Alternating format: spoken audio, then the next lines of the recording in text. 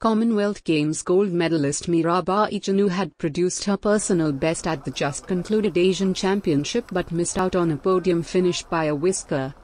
The 24-year-old had lifted 86 kilograms in snatch and a personal best of 113 kilograms in clean and jerk for a total of 199 kilograms in the women's 49 kilograms event to finish on the fourth position.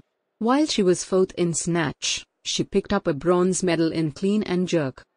We speak to the Indian star weightlifter on her return from the championship.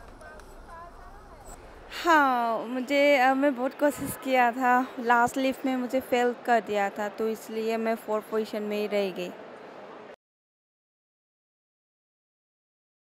दुख तो बहुत होती है क्योंकि ये Asian championship मेरे मेरे लिए सबसे इम्पोर्टेंट था, खास मेरा ड्रीम था ये चैम्पियनशिप मेडल लेने के लिए। फिर भी मैं नहीं ले पाया तो मुझे बहुत दुख था, दुख थी तो मैं पता नहीं क्या बोलूँ, पर मैं लास्ट फेल में फेल हो गए थे तो इसलिए मैं मेडल चले गई थी, दुख तो बहुत था। मैंने बहुत मेहनत किया था एशियन के लिए।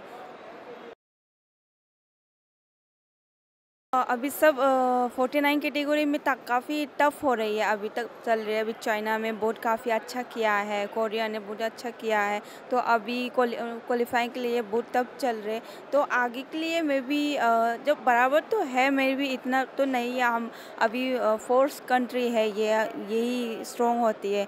तो हम भी आगे अभी वर्ल्ड चैम्पियनशिप है तो इसमें से हम पूरा कोशिश करके मैं मेडल लूँगी क्वालिफाइंग के। पॉजिटिव ये है कि मैं इंजरी से फोर मंथ्स पूरा इंजरी में था तो इसमें से मेरा कॉन्फिडेंस पूरा कम हो गई थी तो अभी एशियन चैम्पियनशिप में पूरा कॉन्फिडेंस है कि मैं और भी ज़्यादा इससे उन उससे कर सकती है।